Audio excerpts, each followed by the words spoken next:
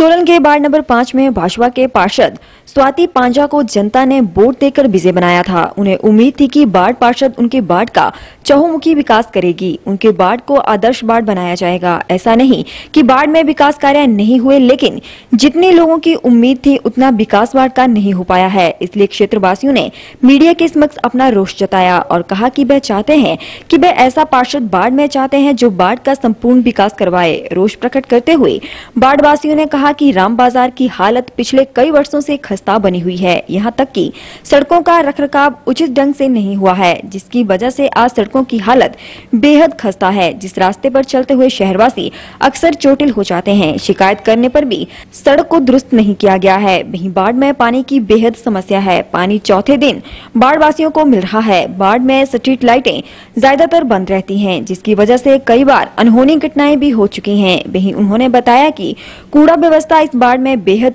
चरमराई हुई है। मनमर्जी से सफ़ाई कर्मी कूड़ा लेने आते हैं, जिसकी वजह से अक्सर बाढ़ में कूड़ा बिखरा रहता है। वार्ड नंबर पाँच हमारा बहुत अच्छा वार्ड है, पर यहाँ के जो भी पार्षद रहे हैं, वो समय के अनुसार यहाँ पे काम नहीं करवा पाए। इस टाइम जो रूलिंग में जो पार्षद हैं, वो तो हमारे वार्ड में नज़र भी नहीं आते। वार्ड की परेशानियाँ ऐसी हैं, हमारा लोयर बाज़ार में ये बैरीगेट्स लगे हुए हैं, आप अगर ये दिखा पाएँ तो दिखा सकते हैं। ये पूरे सोलन शहर में मेन मार्केट में बैरीगेट्स लगे हुए हैं, वो टाइम टू टाइम खुलते भी हैं, बंद भी होते हैं। पर हमारे लोयर बाज़ार में ना ये बैरीगेट्स खुलते हैं, ना ये बंद होते हैं, जबकि नगर परिषद ने बैरीगेट्स लगा रखे हैं। पर इनको खोलने के लिए और बंद करने के लिए कोई आदमी अपॉइंटमेंट नहीं की है। बाज़ार के रास्ते आप दिखा सकते हैं, देख सकते हैं। जो भी यहाँ पे टाइलें बिछी हैं, वो ठीक ढंग से नहीं बिछी हैं। सारी उबड़ खाबड़ हैं, बच्चे और लोग जो भी चलते हैं यहाँ पे एक दो को ज़रूर इस बाज़ार में अनहोनी होती है। कुछ कोई ना कोई गिरता है। पानी की व्यवस्था प्रॉपर नहीं है यहाँ पर। पानी कभी सुबह दस बजे आता है तो कभी सवेरे पाँच बजे आता है। कूड़ा गाड़ी लगी हुई है, बजाय नगर परिषद ने कूड़ा गाड़ी लगाई है, पर उसका भी कोई टाइम टेबल नहीं है। कभी आती है, कभी नहीं आती। मैं समझता हूँ जो भी इस वार्ड से पार्षद, अब भावी पार्षद हो, वो इन समस्याओं को देखते हुए वार्ड का सुचारू रूप से काम करवाए। सर, मेरा नाम दर्पण रोड़ा है।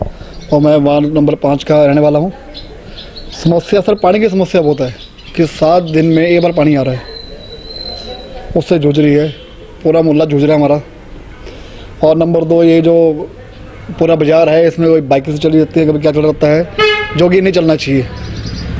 ये बंद होना चाहिए। हाँ एमरजेंसी पड़ती है तो कोई दिक्कत नहीं मुझे खोल दो, खुल खुल जाता है, कोई दिक्कत नहीं है, पर ये बंद होना चाहिए।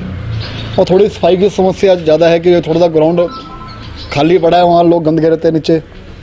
तो थोड़ा सा वो भी समस्या है हमारी। यश है, मैं बोर्ड नंबर पाँच में रहता हूँ यहीं पे। और ज़्यादातर यहाँ पे पार्किंग की समस्या आ रही है। बाकी यहाँ टाइल्स बहुत उबड़ खाबड़ है। पानी की समस्या डेली आ रही है। पानी बहुत कम आता है, जैसे तीसरे, चौथे, पाँचवें दिन कई बार आता है। तो हम चाहते हैं कि जो भी आए, यहाँ पे सुचारू रूप से काम करने वाला आए। और ज़रूरत नहीं है किसी पार्टीबाजी से हो या किसी पार्ट परमानेंट पार्टी से हो या बीजेपी से हो या हमारे लिए इम्पोर्टेंट वो चीज़ नहीं, हमारे लिए इम्पोर्टेंट ये है कि जो भी आए वो अच्छा काम करे इस वार्ड की तरक्की के लिए और यहाँ गलियों का काम करने के लिए पार्किंग वगैरह की समस्या जो है उसको सुचारू रूप से अच्छे से काम करें। पानी का भी बहुत बुरा हाल है यहाँ पे। चौथे चौथे पाँच पाँच में दिन आ रहा है, बल्कि मेरे जो पड़ोसी हैं आस पड़ोस वाले हैं और हमारे खुद के, बल्कि जो तीसरे फ्लोर पे टैंकी वगैरह रखी है, उसमें पानी चढ़ नहीं पाता है, प्रॉपर सप्लाई नहीं है यहाँ पे। हम चाहते हैं कि डेली पानी आए और अच्छा पानी आए और थोड़ा पानी को सस्ता करा जाए, जैसे कि बहुत ही महँगी बिल आने लगे अब तो हज़ारों में बिल आने लगे, पहले सौ, दो सौ में काम हो जाता था, अब थोड़ा बहुत, थोड़ा क्या, बहुत ही ज़्यादा हज़ारों में चलने लगी है ये बात ना।